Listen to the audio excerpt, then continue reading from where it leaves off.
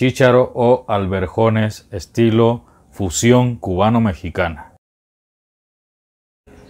Queridos amigos y amigas de Casa Reimo, vamos a hacer una rica receta de chícharo o alberjones. Esto va a ser una fusión y les explico, miren, la mitad de mi vida la he pasado en México, pero yo no soy mexicano.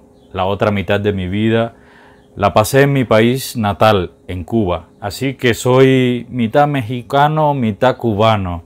Por tanto, cuando uno lleva tanto tiempo así fuera del país de uno, de repente empieza a mezclar cosas, a hacer fusiones. Y esto es precisamente lo que les voy a presentar hoy. Una fusión de los chícharos cubanos con los alberjones mexicanos. Adelante.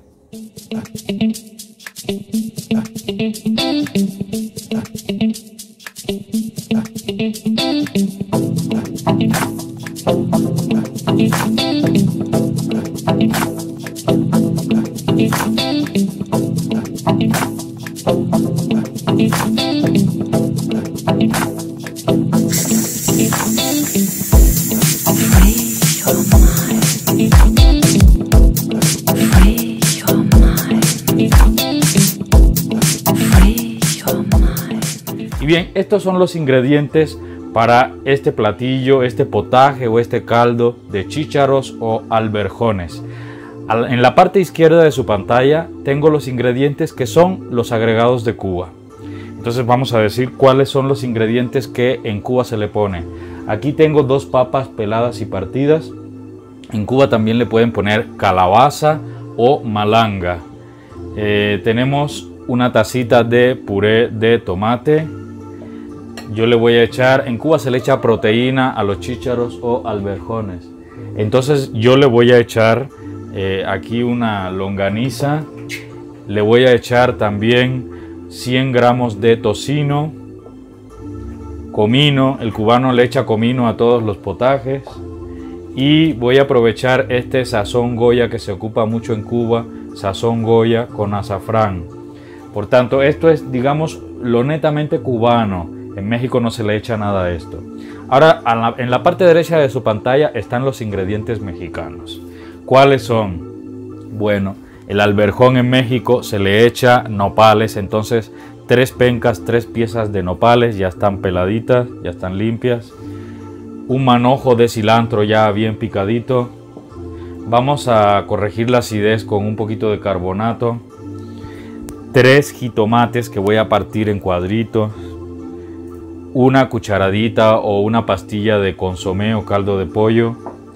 Y esto es opcional para el que le guste el picante, tres chiles de árbol seco. Y en el centro de nuestra pantalla están los ingredientes que usa tanto Cuba como México. Por supuesto, la base, que son 500 gramos de chícharo seco o alberjones depende como lo conozca usted.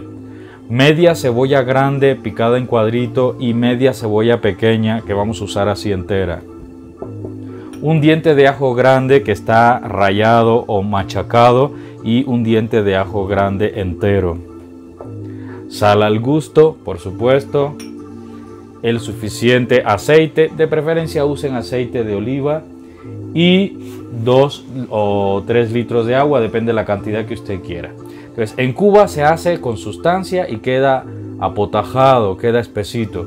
En México se hace con verduritas como el nopal y queda aguado, queda un poco caldoso. Entonces vamos a hacer una fusión y que no quede ni muy espeso ni aguadito y que lleve todo esto. Y van a ver qué rico va a quedar esto para complacer tanto a los mexicanos como a los cubanos. Pruébenlo y verán. Miren, antes que nada, lo primero que vamos a hacer es preparar nuestros nopales. Los vamos a partir. Y yo los voy a poner a salar. O sea, los voy a poner con sal. ¿Para qué? Pues esto es un truco para quitarle la baba. Yo quiero primero quitarle la baba a mis nopales. Y eso lo voy a hacer con suficiente sal. Entonces, cortamos así los nopales y los vamos a ir echando en una coladera, en un sedazo, como lo conozcan. Esto de cocinar para todo el mundo, de repente tiene que uno que aprender mucho vocabulario.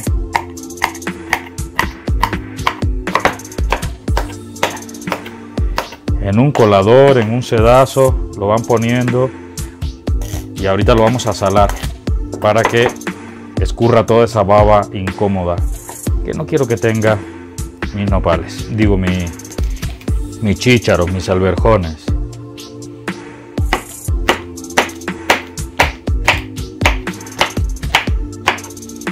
Son tres piezas, tres pencas de nopales. En Cuba lo conocen por tuna, pero tuna es la fruta, nopal es la penca, la mata, el árbol. Bien, ahí está. Ya tengo aquí mis nopales en el colador y le voy a echar suficiente sal. Miren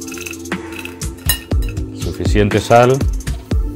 Están en crudo, yo no los he hervido ni nada. mientras voy preparando todo, esto va a ser lo último que voy a echar, ¿eh? Entonces mientras voy preparando todo, lo dejo así en el sedazo, en la coladera, para que empiece a soltar toda la baba, empiece a escurrir toda la baba el nopal. De manera natural lo va a hacer, sin yo tener que echar nada más. Bien amigos, lo próximo que voy a hacer entonces es ablandar los chícharos o alberjones. Usted lo puede poner de preferencia la noche antes en remojo y eh, así les van a crecer y van a quedar este, mucho más blanditos en menos tiempo. Pero aquí no importa, lo pueden hacer como yo, nomás que esté bien lavadito, lo lavan muy bien y vamos a ocupar 2 litros de agua. Estamos en la olla Ninja Foodie en el proceso de ablandar los alberjones.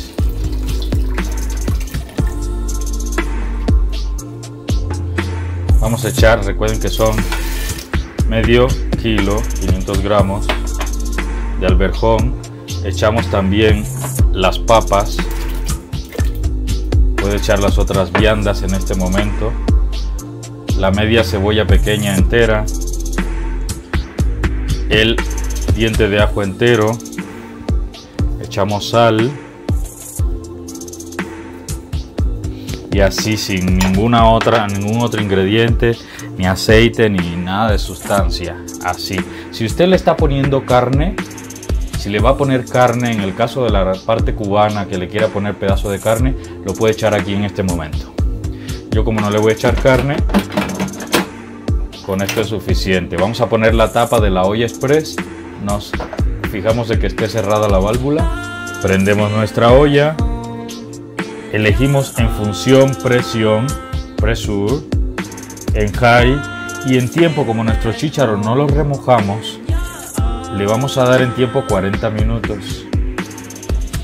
40 minutos.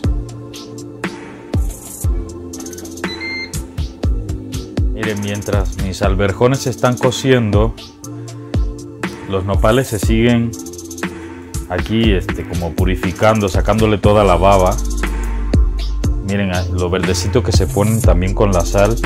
Y le puse aquí la rejilla de la ninja y debajo un recipiente. Y miren toda la baba que ha sacado. Miren, ya va a terminar los 40 minutos. 40 minutos en la función de express. Acaba de terminar. Y vamos a sacarle la presión manualmente con nuestra válvula apagamos la olla. Y ya salió toda la presión de mis 40 minutos. Vamos a abrirla. Abrimos nuestra olla ninja y vamos a ver cómo están nuestros chícharos. Miren. Lo bueno de esta olla es que le pongas el tiempo que le pongas, no desbarata, no desbarata las cosas. Y vamos a habilitar a lavar nuestra la olla interna de la ninja con cuidado porque esto está muy caliente. La vamos a lavar la vamos a habilitar para ir haciendo nuestro sofrito. Miren ya la ve la olla interna de la ninja foodie y ahora lo que vamos a hacer es ocupar la función Ciar Sauté prendemos nuevamente nuestra olla. Elegimos en función Ciar Sauté, saltear, la función de sofreír o saltear. En high le damos enter y colocamos una tapa externa para que se vaya calentando nuestra olla. Una vez que nuestra olla ya precalentó un poco, voy a echar el aceite. De preferencia aceite de oliva porque las legumbres tienden a tienden a ser un poco ventosas para que no nos caigan mal. Entonces, de preferencia aceite de oliva, yo voy a ocupar aceite vegetal, el suficiente, unas 3 o 4 cucharadas. Y lo, lo que vamos a empezar a freír es el tocino o bacon con el chorizo o longaniza y los tres chilitos de árbol. Eso es lo primero.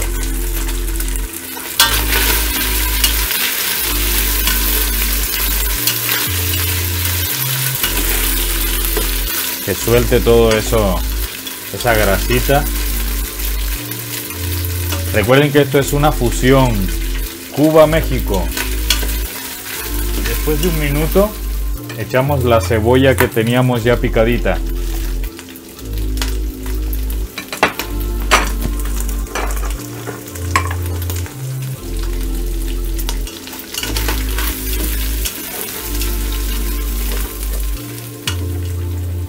En este punto echamos el ajo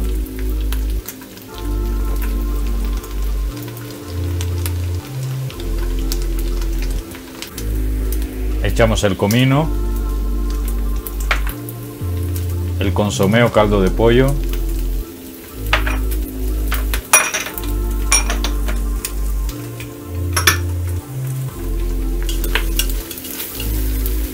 tengo que esperar hasta que mi chorizo o mi longaniza esté bien doradita. Que no se sienta cruda todavía. En el fondo se va a pegar un poquito, no se preocupen por eso. Con el caldo va a dar mucho sabor. Solo un poco que se sofría más mi longaniza o mi chorizo. De alguna manera el chile seco nos dice cómo vamos. Cuando el chile ya se frió bien y la longaniza ya no se ve tan cruda. Entonces ponemos lo que hidrata. Primero el jitomate picado en cuadritos.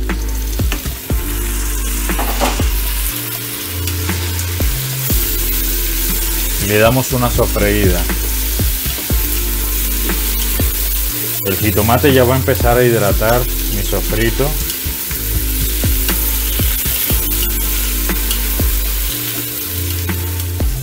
Miren, una vez que mi jitomate ya perdió un poco el, cuerpo, que ya, que ya perdió esa crudez o crudeza,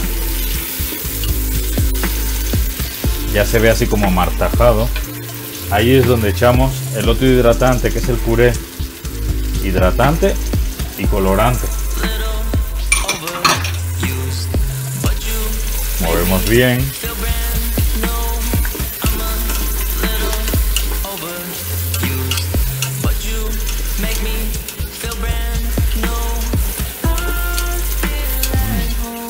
Qué rico está quedando este sofrito.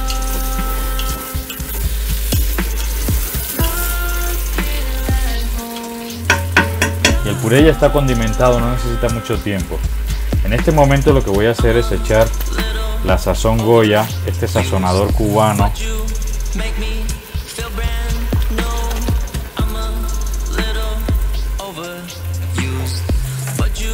Nuevo que aparte de dar sabor va a dar color.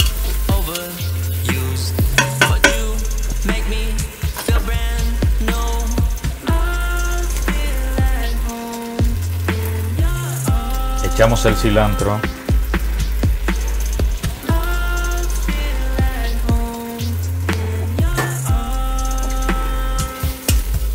Bien, una vez que ya está así mi sofrito,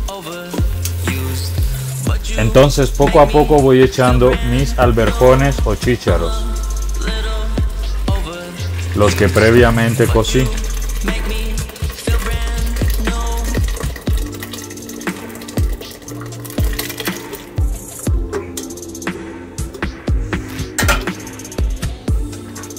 Integro bien todo.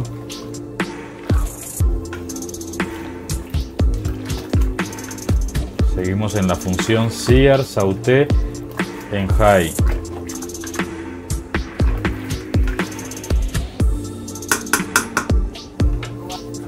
Ahí hecho los nopales que ya deshidrataron, ya echaron toda la baba. Miren, y después de unos 5 minutos en la función Ciar Sauté en High, así ya están.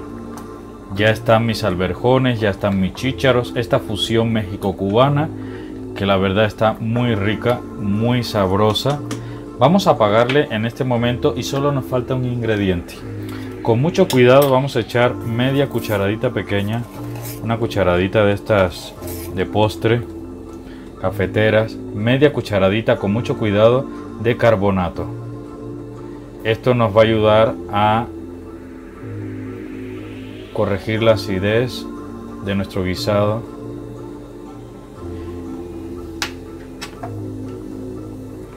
Así lo vamos a dejar ya apagamos nuestra olla y vamos a dejar que repose unos 10 minutitos y ya estará listo para emplatar, para servir, que es el paso al que vamos a presentar ahorita. Y bien, miren, así quedó esta deliciosa fusión de chícharos o alberjones cubano-mexicano. Miren, qué delicia, qué rico ni espeso como lo preparan los cubanos, ni muy aguado como lo preparan los mexicanos. Pues esta fusión la verdad vale la pena, está muy nutritiva, tiene proteína, tiene grasas, tiene verduras, chilito. Esto está muy muy rico, es un platillo completo, es un buen guisado para disfrutar en familia. Y aquí está, chícharo o alberjones estilo fusión cubano-mexicana. Buen provecho.